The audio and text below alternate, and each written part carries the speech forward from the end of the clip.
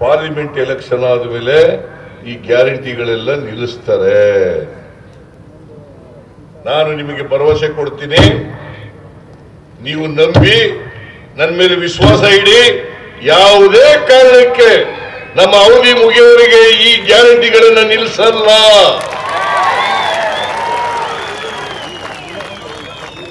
ಗ್ಯಾರಂಟಿಗಳನ್ನು ನಿಲ್ಲಿಸಲ್ಲ ನನಗೆ ವಿಶ್ವಾಸ ಇದೆ. ಮತ್ತೆ ನಾವು ಅಧಿಕಾರಕ್ಕೆ ಬರ್ತೀವಿ.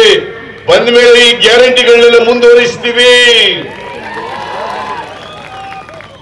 ಕೇಂದ್ರದಲ್ಲಿ ಅಧಿಕಾರಕ್ಕೆ ಬಂದ್ರೆ ಕಾಂಗ್ರೆಸ್ ಪಕ್ಷ ಎಲ್ಲ ಇಪ್ಪತ್ತೈದು ಗ್ಯಾರಂಟಿಗಳನ್ನು ಕೂಡ ಜಾರಿಗೊಳಿಸ್ತಾರೆ ಕಳೆದ ಚುನಾವಣೆಯಲ್ಲಿ ಇಪ್ಪತ್ತೈದು ಜನ ಗೆಲ್ಸ್ ಕಳಿಸಿದ್ರೆ ಬಿಜೆಪಿಗೆ ನಮ್ಗೊಂದೇ ಒಂದು ಸೀಟ್ ಸಿಕ್ಕಿತ್ತು.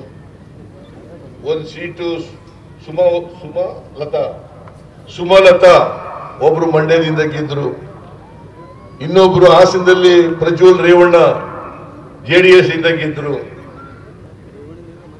ಜೆಡಿಎಸ್ ಇಂದ ಗೆದ್ರು ಇಪ್ಪತ್ತೈದು ಜನ.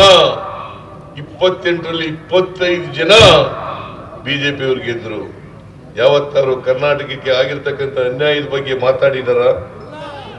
ನಾನು ಕೇಳ್ತೀನಿ ನಿಮಗೆ. ಈ ಜಾಧವ್, ಮಿಸ್ಟರ್ ಜಾಧವ್, ಯಾವತ್ತಾರು ಕೂಡ ನಿಮ್ ಪರವಾಗಿ ನಿಮ್ ಪರವಾಗಿ, ಕರ್ನಾಟಕದ ಪರವಾಗಿ, ನಿಮ್ಮ ಧ್ವನಿಯಾಗಿ ಪಾರ್ಲಿಮೆಂಟ್ ಅಲ್ಲಿ ಯಾವತ್ತಾರು ಬಾಯಿ ಬಿಟ್ಟಿದಾರ? ಯಾವತ್ತಾರು ಬಾಯಿ ಬಿಟ್ಟಿದ್ದೀರೇನ್ರಿ?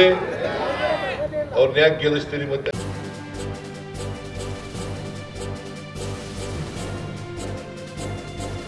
ಇದು ಮಾನವೀಯ ಸಂದೇಶದ ಜನವಾಹಿನಿ.